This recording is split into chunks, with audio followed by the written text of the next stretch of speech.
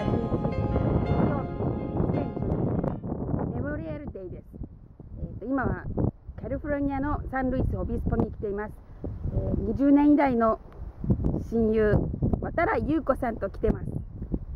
今回の旅行は彼女と15年ぶりに会いました。渡来さん何か一言。とっても綺麗です。ぶど畑に今いますよ。なんていうぶど畑ですか？